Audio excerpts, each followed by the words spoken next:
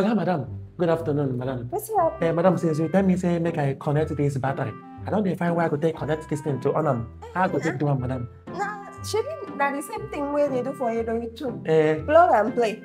Nah, you plug am for you. You come play. Stop right there. This UA 16 battery is not something you connect to an extension or a socket. This 51.2 volts lithium battery is designed to work from 48 volts to 51.2 volts hybrid inverters. It comes with a 90% depth of discharge.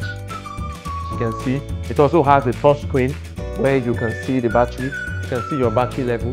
It also has a BMS, which is battery management system, which you can use to protect the battery. There's also a 5 years warranty that comes with it. So guys, this is a lithium battery and you need a professional installer to install this in your home, or your office, restaurant, in an hotel or anywhere.